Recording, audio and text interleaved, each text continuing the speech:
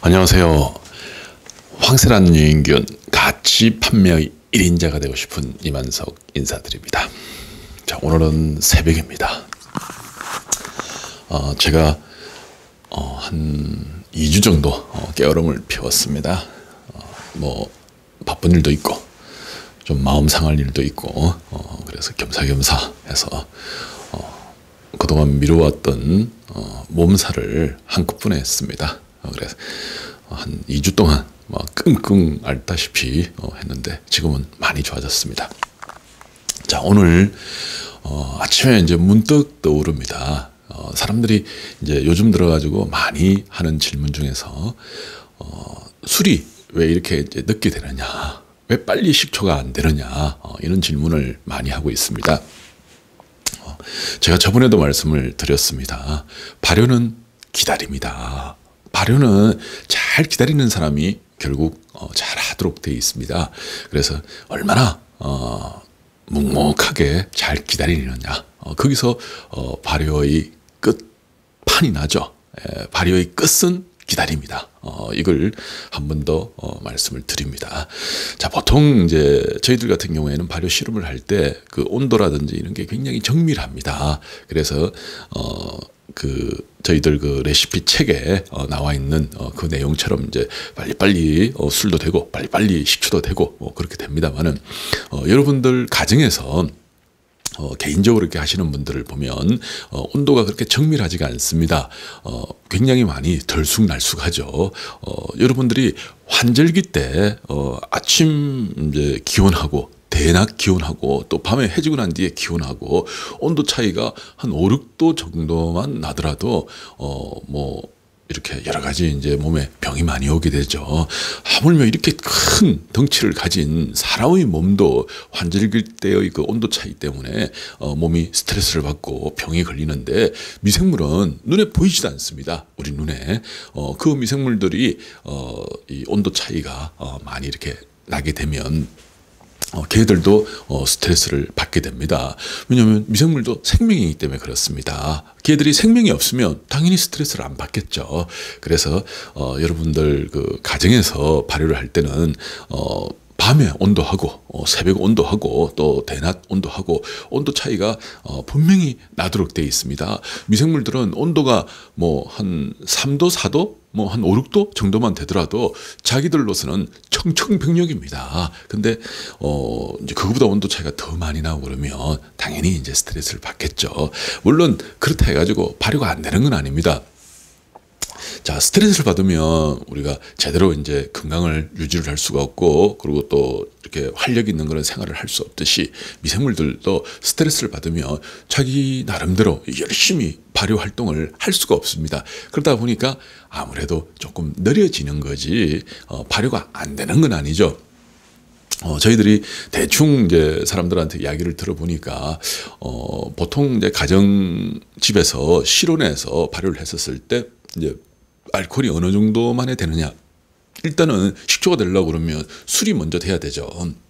그래서 이제 어느 정도 되느냐 그러니까 한 보름 정도 지나고 나면 약간 술 맛이 납니다. 그리고 한 달 정도 어 있으면 어 술이 익었다 하는 음 이야기를 합니다. 그러면 어 여러분들이 일단은 이제 식초를 만들 때 어 이제 그 레시피에 적힌 것처럼 유인균을 넣고 그 다음에 이제 그 재료를 이렇게 굉장히 분쇄를 해가지고 어 일정한 어 요렇게 딱 거기에 맞춰 당도도를 맞춰가지고 어 해놓고 난 뒤에 어 보통 어 빠르면 보름 그리고 늦으면 한 한 달 정도 어 가만히 두십시오. 가만히 두면 어 이게 어 술이 충분히 익습니다. 어 저는 마음 같았으면 한 한 달 정도 넉넉하게 어 그냥 두라고 이렇게 말을 하고 싶습니다. 그래서 한 달 정도 있다가 어 뚜껑을 딱 열어 가지고 국자로 이제 조금 떠가지고 한번 맛을 보면 어 야 이거 굉장히 맛있는 술이 되어 있구나. 어, 잘 익은 술이 되어 있구나. 어 이런 이제 느낌이 어 여러분이 들 때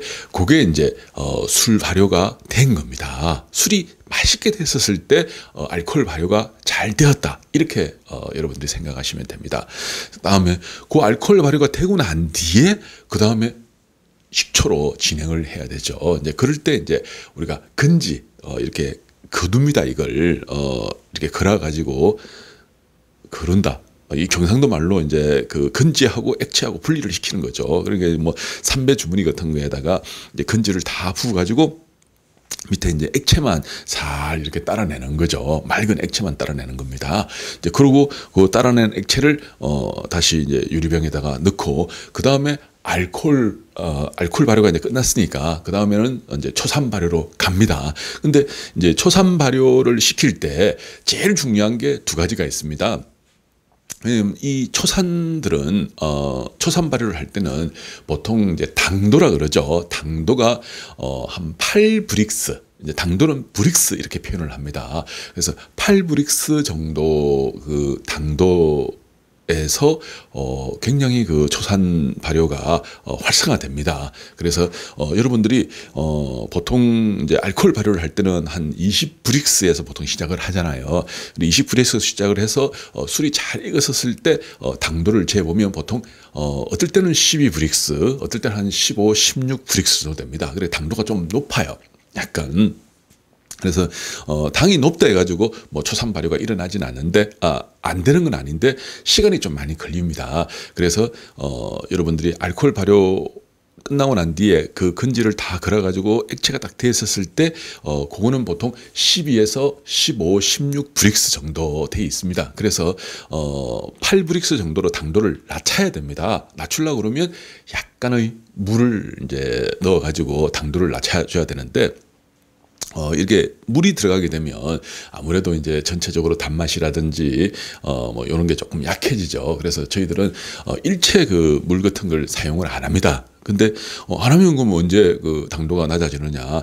이제 그러는데 초산 발효 진행 과정에서 당도는 점점 점점 점 떨어지도록 되어 있습니다. 시간이 조금 더 걸릴 뿐이지 어, 당도는 반드시 떨어지도록 되어 있습니다. 그래서 어, 여러분들이 빨리 어, 나는 식초를 먹고 싶다 그러면 어, 물을 조금 부어 가지고 당도를 한 8브릭스 정도로 낮춰주는 게 어, 낮춰주게 되면 더 빨리 초산 발효가 일어나기 때문에 어, 식초가 빨리 되고 그리고 아예 괜찮다 막 뭐 올해 시작했으니까 내년에는 먹어야지 이렇게 한다 그러면 그대로 어 뭐 그 저 원액 그대로 하게 되면 훨씬 맛있는 어 발효 식초를 만날 수가 있습니다. 자 어떻게든 이제 첫째 당도 문제 어 그걸 낮춰줘야 된다는 거 그거 말씀을 드렸고 두 번째는 알코올 발효가 일어날 때는 어, 공기를 웬만하면 차단을 시켜주는 게 좋은데 초산 발효가 일어날 때는 초산균들은 공기를 좋아합니다. 그래서 공기가 어느 정도 노출이 되면 좋죠. 이제 저희들은 어, 이 위에 보자기를 만들었습니다. 이렇게 이제 방수 보자기 방수천에다가 중간에 이제 이렇게 공기가 들어갈 수 있도록 만들어 가지고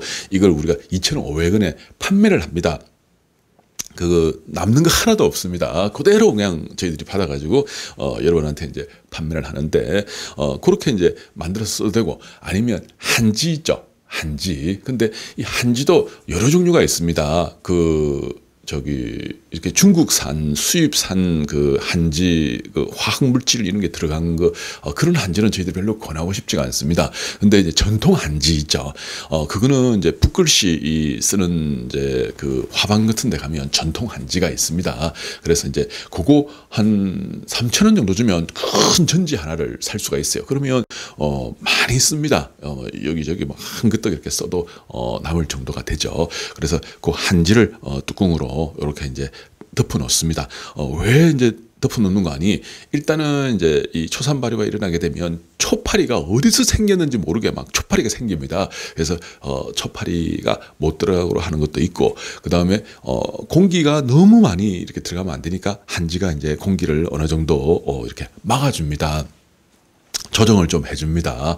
어, 그리고 뭐 여러 가지 문지라든지 어, 이물질 이런 것도 이제 안 들어가도록 어, 한지가 막아주죠. 어, 이런 식으로 해서 그 한지 공기를 어, 조정하면서 어, 맛을 만들어내는 겁니다. 그래서 어, 공기를 많이 이제 노출을 시켜버리면 어, 굉장히 독한 공기가 많이 노출이 되니까 초산 발효가 많이 일어나가지고 독한 이제 어, 발효 식초가 되고 어, 공기를 조금 이제 이렇게 저희들처럼 이제 요 정도로 이제 조정을 해버리면 아주 맛있는 어, 발효 식초가 돼버립니다. 그래서 이제 요는 어, 과정을 통해서 이제 발효식초가 되는데 이 초산 발효가 일어날 때 이제 그때 어, 몇 가지 주의할 점이라든지 이런 거는 제가 다음 시간에 한 번 더 어, 상세하게 말씀을 드리겠습니다. 그때도 어, 이렇게 어, 몇 가지 포인트가 있습니다. 자 오늘 어, 여러분들 알코올이 어, 술이 왜 빨리 안 되느냐 어, 그에 대한 질문을 어, 답변을 드렸습니다. 감사합니다.